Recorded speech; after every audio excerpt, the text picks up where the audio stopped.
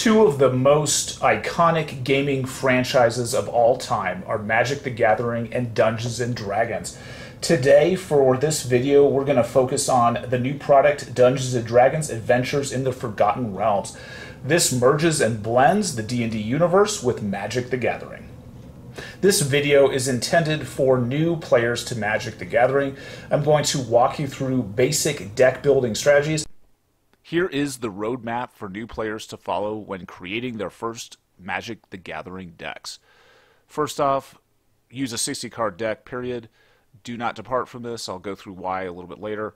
Next, you're going to be selecting 22 basic lands, 11 of each type. You're going to pick two of the basic colors and add 11 of each of those.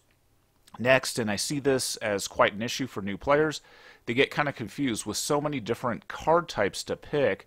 Oftentimes, they're very sorcery and instant, sort of heavy in their deck, or they have a lot of enchantments. What I recommend new players do is focus on having 30 creature cards in your deck, and that's a great way to learn combat and the mechanics around how creatures fight one another. Finally, you're going to be adding 8 different spells of any other type. These could be artifacts, enchantments, sorceries, and instants. And once again, this is a basic roadmap for that first time that you put that deck together. And then in the future, after you get to know your deck a little bit better, you can tweak it and modify it as needed. As a quick tip, use a 60 card magic deck when you're playing just in general. I find that you want to play 60 card decks all the time with no exception. And the reason why is that you're going to get the cards that you want to play. Oftentimes when I see new players, they have these hefty, massive decks that are 100 cards or more. And in decks like this, you can't really get the cards that you're looking for, and you get kind of an inconsistent playstyle out of it. So when you're building a deck, the more copies of something you have, the more consistent your deck is going to be. So stick with a 60 card deck, it's a lot more manageable. In addition, people can't even shuffle these large decks. So when they start to actually shuffle, they start making a mess of the deck. In addition to that, the land does not get distributed evenly through the deck, and they have some serious mana problems when they play the game. Always stick with 60 card decks. In general, with Magic the Gathering, the more common a card is, the cheaper it is, and the easier it will be for you to get multiple copies of that card. It's extremely important when you're building a deck to have as many replicates of that card as possible. What this is going to do is stabilize your deck. It's going to be very consistent. If you have, let's say, 30 different creatures in your deck and you put one of each into your deck, it's going to be kind of fun to play, but it's going to be very, very inconsistent. You're not going to be able to get the cards that you need when you need it, and there's no way for you to build a defined strategy. So, first and foremost, let's talk about what that looks like in the game. Um, at least on modern Magic cards, the rarity is listed on the card. So here we have a black and white symbol, and then C is listed at the bottom left of the card. Next we have uncommon with the silver and black symbol, and then a U is listed on the card as well. When we move up into the rare category, uh, you're going to have this gold symbol and then the letter R written in the bottom left-hand corner. And then finally with mythic, you're going to have this orange symbol and there's going to be an M on the bottom left-hand portion of that card. There are cards in the game that say legendary, and if you look, it'll say legendary in the card type section. So in this case, we have two different legendary creatures. Now, with these creatures, just know that you can only have one copy present in the game, and that could be for both players at any one given time. So when you're doing deck construction and deck building, maybe put one copy or at most two copies in of legendary creatures into your deck if it's essential for your strategy. And just please note that if you do get those additional replicates, you won't be able to put them into play until the other one leaves play. When deck building, start with common cards. In general, you're going to have the most number of these cards. The kind of the rule is you can only have up to four of any one given card in the deck. So start with your common ones. So in this case, we have four Manticores. They're very cheap and easy to buy. What I mean easy to buy, I mean money wise. If you go to your local game store, a lot of times common cards are very, very cheap. You know, sometimes one penny, five pennies at most, so five cents. This really isn't a huge cost when you're putting your deck together. Magic can be somewhat cost prohibitive if you start purchasing booster box after booster box after booster box. So, what I recommend for new players is go to your local Magic store and get a pile of common cards. As an example, there's a local store near where I live, and you can purchase 400 common cards of any one given color. Plus, they give you 30 land of that color, and that costs you 10 bucks. So that's a great way to sort of get into the game. So let's say you purchase one color and then you buy another one. So for 20 bucks, you get all the land that you need for your deck. In addition to that, what they're also going to give you is a bunch of commons, and this is going to help you build the base of your deck. As you move into uncommon cards, they're going to be a little bit more pricey, a little bit more costly at your local store. Um, and if you're opening booster boxes, you're just going to have less of them just based upon the rarity and the frequency of which they appear in the booster packs. So as an example, we have the Drider up on the screen. These are uncommon, so maybe when I'm putting the first deck together, I'm going to say, you know what, I don't have a ton of these Driders, but they're pretty cool. I like their effects, so I'm going to throw three of them into the deck. Uh, when you go to your local gaming store, these will be sometimes moderately more expensive, and it all depends upon what you're looking for. It can be extremely daunting when you start getting into the game. If you've never really played it before, it's kind of hard to figure out what to buy and what to play. That's why I always recommend just purchasing a bunch of common cards at the beginning and then figure out what your play style is before you start spending a ton of money.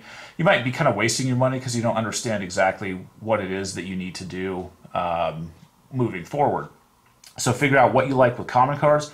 Then you can move on to those uncommon, rare, and mythics. Also, in general, the complexity of the cards seems to increase as you go from common to uncommon and then from uncommon to rare and to mythic. So sometimes there's a lot of text on the cards that appear if they're rare. Um, and that's kind of by design. In general, you're not going to see a ton of those being played, and the mechanics are a little bit more difficult to understand. When you hit the rare and mythic tiers for deck building, in general, you might only have, you know, a couple of these rares unless you really, really like it and you want to invest heavily into that. Sometimes the rares go from anywhere from like a dollar all the way up to hundreds and hundreds of dollars, depending on what set, or even thousands of dollars if you go way back through time to some of the original sets. So this this can be extremely cost prohibitive, and it's just not a good way to get into the game. Next up, we have the Mythics, and if you're opening booster packs, you'll probably get some of these from time to time. They're extremely rare, but they're kind of fun to play. So in general, when you're first starting your deck building, you're going to be focusing on commons and uncommons, and maybe throwing a, a couple rares and maybe a mythic here and there. So now that we've gotten money cost out of the way, next we're going to move into mana cost. And this is a really important lesson in deck building because it'll keep you alive, especially if you're a new player, and it'll allow you to play the game. If you don't construct your deck very well, you're going to get wiped out and annihilated pretty quick, and you're not going to learn much of anything. The more that you're going to learn is because you're going to stay in the game longer and you're going to have those cool battles and those cool interactions with the other players. So here's something I recommend. Sometimes people fight with me on this, but I think with new players, this is a great way to keep your deck mana cost effective. So on the left side of the screen, we have a Dryad, and it only costs one mana to bring out. So kind of what I want you to understand is sort of this bookend philosophy. On the right end, we have a purple worm, and that cost is pretty high. It's at a 7. So it's going to be very unlikely that you're going to bring out a lot of purple worms. And oftentimes what I see players do is they look at just the power and the toughness on the creatures and they say, ooh, 8-7, I'm going to just completely load my deck with big creatures and big monsters. The problem with this strategy is often you will be defeated before you can even bring out one of these, let alone a whole entire host. Um, consequently, on the other side, I see players sometimes say, you know what, I'm just going to power load with a bunch of really cheap and um, kind of low power and toughness creatures. I'm just going to swarm my enemy. That's a great strategy, but sometimes that's hard too. So, what I recommend for new players don't put more than four of any one casting cost um, cards into your deck. And then on the other bookend, you want to cap this at five casting cost. So find some sort of creature that is either five or more, and only put four of those into your deck at most. So, you know, maybe you want to play these trolls instead with a five casting cost. So if you have four cheap cards, four expensive cards, what that means is the rest of your deck is going to kind of fall into the middle, and they're going to have casting costs anywhere from two to four mana, and that's really kind of where the sweet spot is. So at most, four cards of one casting cost, and at most in your deck, four cards with a five or more casting cost. This will allow you to stay in the game and learn the mechanics and make you a better player. All right, let's put what we have learned to the test. So I've got my land cards. I'm doing a blue and black deck for this video. So I've taken the 11 of each basic land type and stuck them in this deck. And then over here I've taken my 30 creatures and then I've mixed eight additional cards. And that's a mixture of instants, sorceries, enchantments, and artifacts. I've mixed them into this deck. And now what I want to do is um, make sure everything's thoroughly randomized before playing. So I went ahead and I just um, quickly shuffled this deck. And then I also quickly shuffled all of the other cards in. And kind of what I recommend doing is when you're putting your deck together for the first time, just grab two cards, throw a card underneath, grab two cards, throw a card underneath, and go ahead and continue this process. You're going to mix that land into this deck and then when you're done, you're going to shuffle it anywhere from three to five times, depending on how good you are shuffling. And then we're going to move on to testing your deck. This is kind of a weird solo strategy that I've used for a very, very long time to make sure that your opening burn, which is the opening hand that you have, and all those cards, you can play them down effectively, and you don't have any sort of mana bog down. So I'll show you what that's like in a second. All right, now we have our deck. Everything is sufficiently randomized. I went ahead and I shuffled that land in, and then I went ahead and shuffled this deck five different times just to make sure everything is sufficiently mixed. Now I'm going to kind of test the efficiency of how fast you can bring stuff out in this deck, and I'm going to do it by kind of a simulation aspect. So I'm going to take one, two, three, four, five, six, seven cards off the top of the deck. And what this is simulating is my opening hand, essentially. And I'm going to go ahead and just take a quick look at that and make sure that I have a sufficient amount of land mixed in, which I do. So I've got a swamp and an island mixed in there. Uh, now what I'm going to do is simulate the opening of the game, just kind of by myself. And I'm going to just practice playing down the cards. So I'm going to imagine that I'm the first player, so I'm going to skip my draw phase. Next, what I'm going to do is, I'm going to expand this out a little bit so you can see what's happening. I'm going to put a swamp down to simulate my first turn. Then I'm going to pass to the second player. Now I'm going to simulate that I'm starting my second turn. And I'm going to look into my hand. I'm going to play an island down. And then on this turn, I'm going to play down the secret door. Then I'm going to pass the other player. I'm going to simulate now starting my third turn. And I'm going to look in my hand. And now I've got a Sepulchre Ghoul out as well. So now I'm going to pass on to the next turn. Um, now I'm drawing a card, so now I have three lands. And uh, now I'm going to simulate playing a instant, which is Bar the Gate. This is a enemy counterspell on my next turn. Now I'm going to simulate my next turn, and if you can look and see, my hand is beginning to dwindle, but I haven't really hit any mana bog downs per se when I'm running through this. Um, on this turn, I'm going to put one of these Death Priests down. Then on my next turn, we're just going to keep simulating this, and what I'm looking for is to make sure that I can get stuff out effectively and that I'm eventually going to run out of cards and you can kind of simulate what that looks like. Now I've got another turn. I'm going to simulate, you know, playing two different instants down on that next turn. Then I'm going to untap everything. And then I'm going to draw. And then on my final turn, I can play out the last two cards in my hand. And as you can see, it's a pretty efficient deck. I didn't hit any points in time where I couldn't play stuff. So every turn I'm playing something down and moving forward, and that's kind of what you want. Now, when you're done doing this, just take all your cards and throw them in the discard pile and then start the process over again. So just one, two, three, four, five, six, seven, and then simulate another opening burn with this next set of cards. And as you can see, um, we have a nice another set of opening cards that we can play. So do this and run through the entire deck and do this a couple times. And what you're looking for, like I said, is just make sure you're not getting stuck.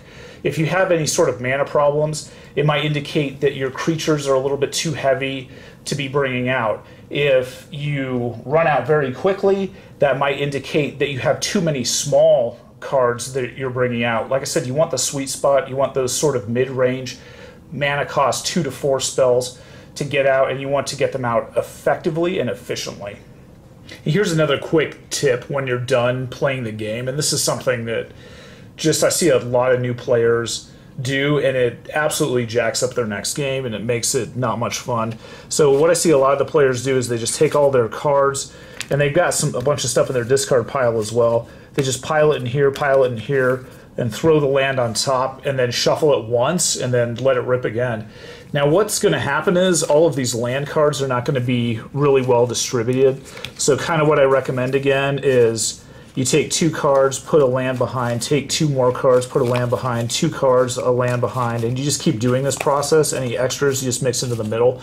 That just means that prior to shuffling, all of your mana is properly um, sort of distributed in this pile of cards. And then flip it on top, shuffle it anywhere from three to five times, depending on your effectiveness and your efficiency. And then you're ready for the next game. I can't tell you how many times I see new players, they don't even shuffle their deck, and then they end up with these crazy land problems where they draw one land card and they have one mana to play, and then their opponent just slaughters them. That's not much of a fun game. So, what you can control as the player, you can control that your deck is sufficiently randomized. So, I suggest doing this every single time. Kind of get into um, the habit of doing it. It's really fast and, and effective, and it'll make your next game a lot more fun. All right, so now you are an effective Magic player. Maybe you've played three games, I don't know, and you're feeling kind of good about it. Uh, maybe you've won a couple, and maybe you're starting to get the hang of it, and you understand that um, when you have a nice board presence, it means you got a lot of stuff out on the board and you can make a lot of moves and you can control essentially the other player and you can control the flow of the game. And then let's say you get done with those three games and now you're ready to run into another set. Kind of what I recommend doing after about every three to five games, especially if you have a new deck, go ahead and just go through it. So flip it over, look through it, see what cards you like, see what cards you don't like. And since this is a customizable deck game. You can put whatever you want into your deck and you can take out whatever you don't like. So this is a fantastic opportunity to tweak your deck. A lot of players kind of get stuck in the mindset of, oh, I'll just go ahead and tweak my deck when I get home. So they'll go to the game store for like three or four hours, or they'll hang out with a group of friends for like four to five hours and play a bunch of magic. And they won't tweak their deck until they're sort of at home. Um, kind of like having some downtime. What I recommend is go ahead and dive right in just take a break after three games and say, you know what, I'm just going to tweak my deck a little bit. So go through and may, maybe you know you've got a set of these clattering skeletons and there's four of them in the deck, and you don't necessarily like them. Go through your collection, find something you do like, and then replace them. Make sure you sufficiently randomize everything back into your deck, and then go for another round. What's great about it, this concept is that you're constantly tweaking it and you can make your deck more effective in a much quicker manner if you just take a couple breaks when you're playing and customize your deck as you go. Sometimes people don't like doing this because they have such a huge collection of cards they don't want to bring it with them. Um, maybe just bring like a small subset. So maybe you're playing the newest set, you know, kind of this D&D set. Just bring those with you um, and, and tweak it that way but take the time to invest in your deck. It's going to make the game playing a lot more fun.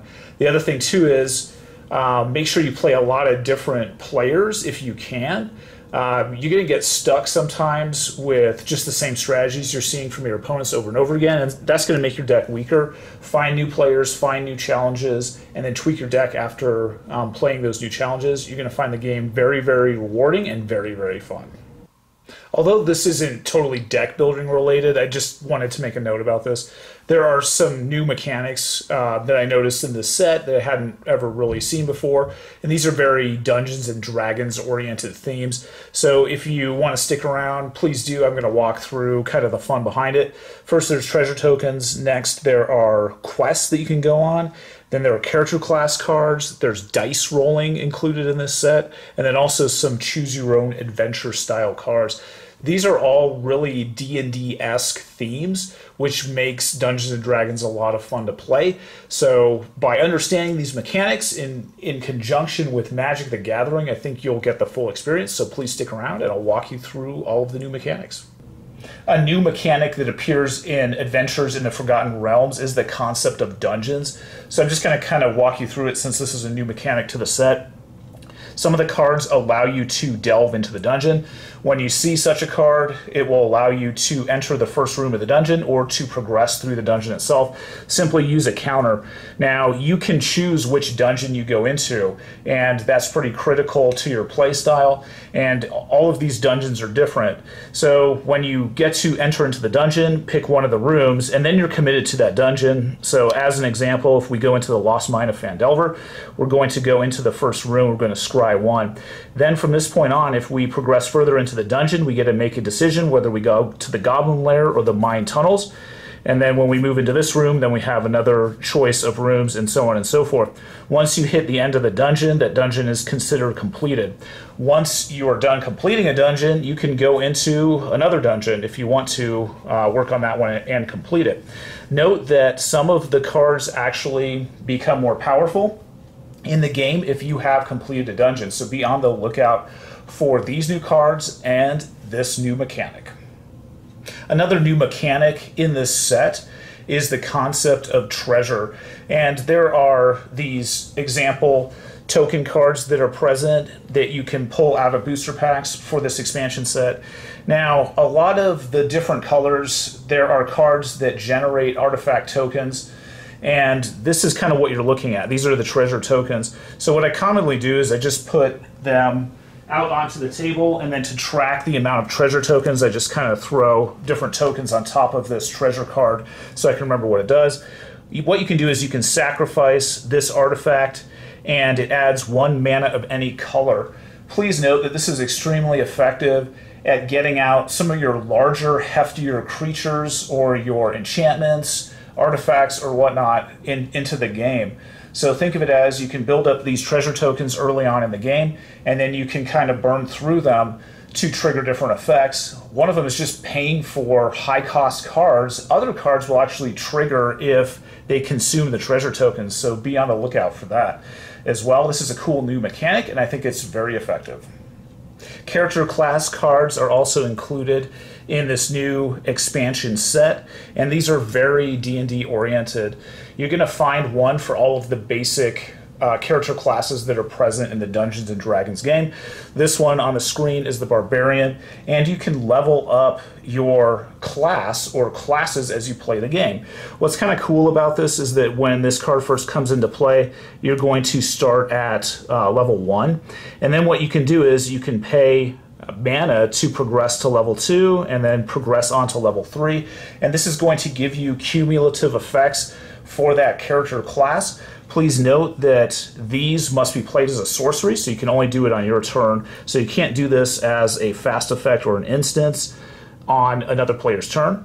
But what you can do is progress through this and you get all these abilities. It's a really cool concept and it is very very d&d centric Another fun mechanic present in this D&D expansion set is the concept of rolling a 20-sided die when certain cards come into play or certain effects are triggered. As an example, we have the Sylvan Shepherd, and you can see that there's three different things that can occur when this Sylvan Shepherd attacks. What's pretty cool about this is that you get to roll the die and sometimes you're going to get a critical hit. Now, nothing is probably more iconic in D&D than rolling that 20 and the excitement that you feel when you roll it. In this case, when the Sylvan Shepherd attacks, you're going to gain 5 life. Now, if you roll a 1 through 9, you're only going to gain 1, but if you roll a 10 through 19, you would gain 2. So rolling that 20 has a massive impact on the game, and it's pretty exciting when you roll that 20. A critical aspect of all role-playing games is choices. The players are able to make choices when they play the game, and that definitely impacts the outcome of that game. What you're going to see throughout this D&D set are cards that are very, very choose your own adventure based. When you cast the card, you get to make a decision. Sometimes it's two or three different decisions that you can make, and it will impact the game. I find this to be very thematic and it's very much tied to the D&D universe and the feel of playing D&D. These cards are a great addition and it also gives you flexibility when you put them into your deck. Depending upon the situation, you can choose the outcome and thus radically impact the flow of the game. To summarize this video, I went ahead and threw the basic deck building strategy up on the screen. Please note that this is just simply a place to start. It's a great way to build a basic core deck and then go ahead and modify it and customize it to your liking any way that you see fit. Hopefully you've enjoyed this deck building video.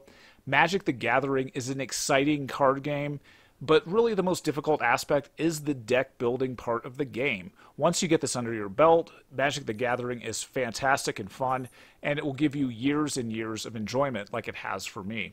I want to thank everybody for joining me today for this video, and as always, have fun gaming.